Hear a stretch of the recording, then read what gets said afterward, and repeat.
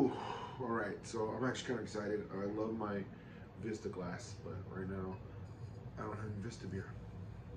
But it's a tall glass, and it needs to be filled. And the only fill that can fill it is big shoes, clown shoes, as a matter of fact. Um, yeah, I don't know how they thought of their name. I read up on it, but it's like that's one you stuck with, and every piece of art is supposed to have clown shoes on it. I think you see his feet on the bottom. Every single piece of art has it in there. Uh, but this is from their uh, Luchador series. It's a good stout, a little bit of cinnamon, so it makes it Mexican stout. It's really smooth, dark, perfect amount of cinnamon, very savory, really good, and they come in tall boys. This one though is the pumpkin one. so it's a pumpkin sombrero. Bang. Mexican style chocolate stout with pumpkin puree. So there is real pumpkin in here in case you're wondering. All right, let's see if this pour goes down well. Yeah. All right, so far. All right, maybe, maybe want a little more fizz. There we go. Oh, oh. Now that is a full glass. Full, baby. Sorry, I don't know. Start sneezing, but the show must go on.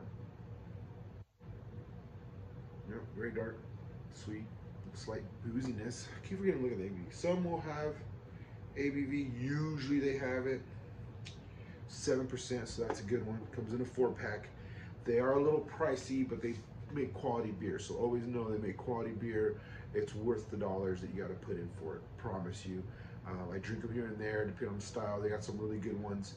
Definitely got more than just stouts, but they do have a lot of mean stouts, beautiful stouts. So if you happen to be a stout lover, you have to check them out or you need to check them out. Yep, subtle. The pumpkin is real nice. It's very uh, more and more uh, fresh, I guess is the word. I don't know. It feels like it's outdoor breezy type deal like I said, super dark, but light. The body is definitely there, and it's a stout beer, but it's very delicate and light and silky, and it just it's almost refreshing. And you took a nice drink of water after a real thirsty day, but instead it's beer, so it's better. The spice is really present, but just very soft. It's like going with the flow of everything. Everything gets to be there. The chocolatiness, the slight dark toastiness, the little notes of caramel on the back, and the pumpkin is just like riding along with it. Even though the wrestling on here, there's no wrestling with this drink. You're just gonna enjoy it. Good job, Clown Shoes. Good job. I'm gonna put you on there. It's been a while since I had some Clown Shoes. Not gonna lie, I'm really trying to expand out. The whole point is explaining this to people who have not had it, want to have it, are deciding on it, or people that are trying to figure out what's their style. Unfortunately, pumpkin is a short season, so you gotta dive in and try some to see if that's what you want next year or if you feel it, because you'll know immediately. But right now, I'm I'm a I just love it, just enjoy it. And so when I see them, I see my go-tos and I pick up a couple of them, but I'm always seeing what's new and what's coming out. So this one I have not had. Glad I have it. Hopefully you get to enjoy it. If you don't feel the description or the styles you, hopefully I've given enough info where you made a decision. But for now, I'm happy. Hopefully, you're happy.